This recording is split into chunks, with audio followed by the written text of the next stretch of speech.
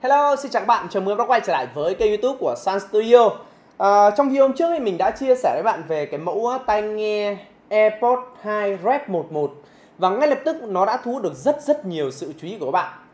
Và dưới phần bình luận thì mình nhận được rất nhiều cái comment của các bạn là Ôi, bây giờ cái mẫu tai nghe True Wireless này, mức giá của nó lại ngang bằng với chiếc tai nghe Zin chuẩn Lightning Vậy thì người dùng chúng ta nên lựa chọn cái mẫu tai nghe nào? Thì hãy cùng mình phân tích và đánh giá trong video này nhé.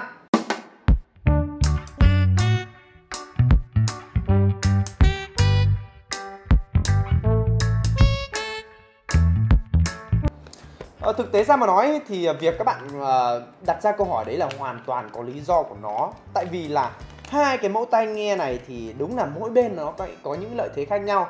Trong khi đó mức giá của nó là ngang bằng nhau. Nếu như các bạn truy cập trực tiếp đường link ở phía phần mô tả đến với Sunstore thì các bạn sẽ thấy rằng mức giá của nó chênh lệch nhau không nhiều. Mỗi bên lại có những lợi thế khác nhau nhé.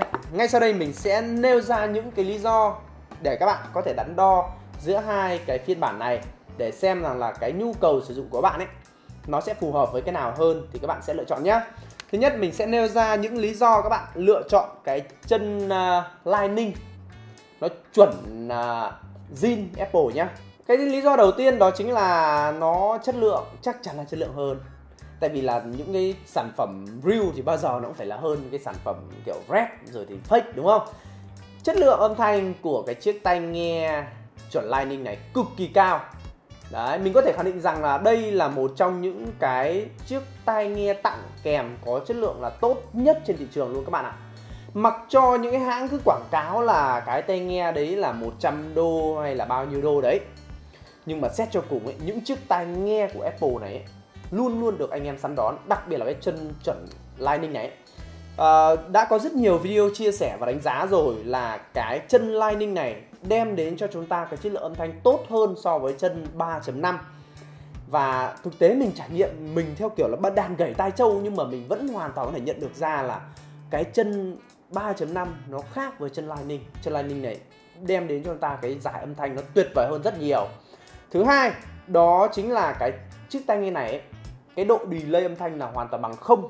Tại vì là chuẩn tai nghe dây. Còn đây là tai nghe không dây chu wireless đi chăng nữa thì cái độ delay của nó cũng bị ảnh hưởng.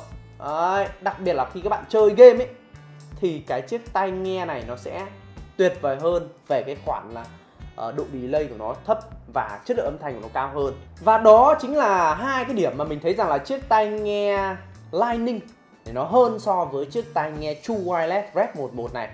À, tiếp theo mình sẽ phải chia sẻ đến các bạn hai cái điểm là chiếc tai nghe Red 11 này nó hơn so với chiếc tai nghe. Thứ nhất đó chính là cái chiếc tai nghe này nó có thiết kế bên ngoài quá trời là sang trọng Nó giống gần như là 96,69% so với uh, chiếc tai nghe AirPods 2 Nên là nhìn bên ngoài nó hoành tráng hơn hẳn luôn. Một cái là có được định giá lên tới là 3 triệu còn một cái nó chỉ là vài trăm nghìn thôi. Nhìn nó có sang trọng hơn không ạ? Có sang trọng hơn đấy. Cái thứ hai đó chính là tính tiện dụng của nó cao hơn à, đối với những chiếc iPhone kiểu cắm vào chân Lightning thì không còn sạc ừ, Lightning nữa. Chúng ta bắt buộc phải sạc thông qua sạc không dây. Còn đối với các bạn sử dụng cái tai nghe không dây này thì các bạn hoàn toàn có thể sử dụng sạc bằng uh, chân Lightning. Tuyệt vời hơn không ạ? Và chưa dừng lại đấy thì cái chiếc tai nghe Red 11 này của nó quá trời là thần thánh luôn nhá. Chúng ta mở ra là có cú up. Mở ra là có cú up cực kỳ là nhanh chóng. Chưa dừng lại đấy nhá, trên tai nghe này có cả cảm biến. Nên là chúng ta chỉ nhấc tai nghe ra là dừng nhạc ngay lập tức. Đấy, nhấc tai nghe ra là dừng nhạc ngay lập tức. Và chưa dừng lại đấy đâu các bạn ạ. Cái tai nghe này nó rep, nó phải nói là bố của hoành tráng luôn. Khi mà các bạn vào cái phần tìm kiếm, các bạn cũng có thể tìm kiếm được tai nghe này luôn. Và chưa hết đâu, chưa hết đâu, chiếc tai nghe Red 11 này nó thiết kế bên ngoài cực kỳ giống luôn. Ngay cả những cái uh, ký hiệu bên trong này rồi thì cảm biến này rồi thì định vị đổi tên này. Ai à, đổi tên nữa các bạn nhé. Nói chung là giống 96,69% so với chiếc tai nghe AirPods 2 duy chỉ một điểm đó chính là chất lượng âm thanh của nó không bằng. Đấy.